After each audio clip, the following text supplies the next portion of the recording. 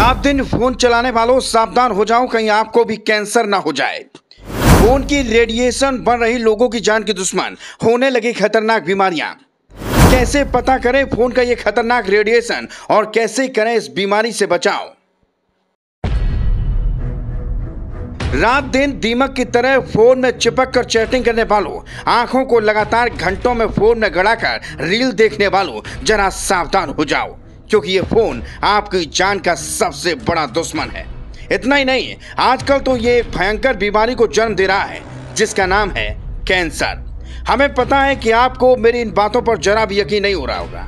इतना ही नहीं, आप ये भी सोच रहे होंगे कि ये पत्रकार क्या पागल हो गया, कैसी बातें कर रहा है? भला फ़ोन से किसी को कैंसर कैसे हो सकता है? तो कुछ मिनट तक मेरे साथ इस खबर में जुड़े रहो। बारीकी से हर बात आपको बताएँगे। देश में मोबाइल यूज़र्स की संख्या लगभग 100 करोड़ के आंकड़ों को पार कर चुकी है और स्मार्टफ़ोन हमारी ज़िंदगी का सबसे अहम हिस्सा बन गया है।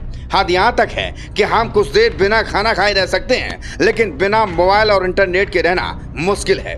वैसे कई मानों में तो स्मार्टफ़ोन के फ़ायदे हैं, लेकिन इसके नुकसान भी कई सारे हैं। वो भी ऐसे नुकसान कि आपकी ज़िंदगी को खतरा भी पैदा कर सकते हैं। मोबाइल के साथ सबसे बड़ी दिक्कत है रेडिएशन की। यह सेहत के लिए किसी जहर से कम नहीं।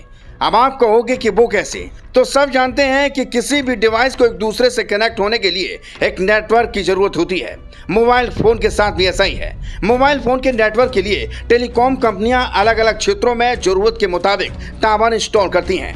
नेटवर्क के मामले में रेडिएशन दो तरह का होता है। पहला टावर से निकलने वाला और दूसरा मोबाइल का रेडिएशन टावर का रेडिएशन तो खुद से चेक नहीं कर सकते, लेकिन मोबाइल फ़ोन का ज़रूर कर सकते हैं। टावर का रेडिएशन हमारे सीधे संपर्क में नहीं रहता, इसलिए इसका गलत प्रभाव शरीर पर बहुत कम पड़ता है। लेकिन फ़ोन 24 घंटे हमारे पास रहता है तो इसका प्रभाव बहुत ज़्यादा पड़ता है। हम जिस मोबाइल फ़ोन का उपयोग करते हैं, उनसे एक विशेष प्रकार की तरंगे निकलती हैं, जिन्हें आम जनजीवन के लिए हानिकारक माना जाता है।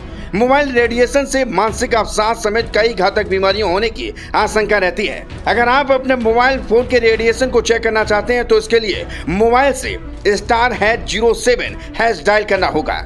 यह नंबर डायल करते ही मोबाइल स्क्रीन पर रेडिएशन संबंधित सारी जानकारी आ जाएगी। बता दें, मोबाइल रेडिएशन से दिमाग कैंसर, एकाग्रता, आँख की समस्या, तनाव में वृद्धि, दिल का जोखिम, प्रजनन क्षमता और सुनने में परेशानियाँ जैसी समस्याएँ हो सकती हैं। एम्स और Indian council of medical research ने एक स्टडी में दावा किया है कि मोबाइल रेडिएशन के कारण इंसान बहरा हो सकता है और यहाँ तक की, और यहाँ तक की नपुंसक होने की भी संभावना है। हालाँकि इसका कोई भी साक्ष्य अभी तक सामने नहीं आया है।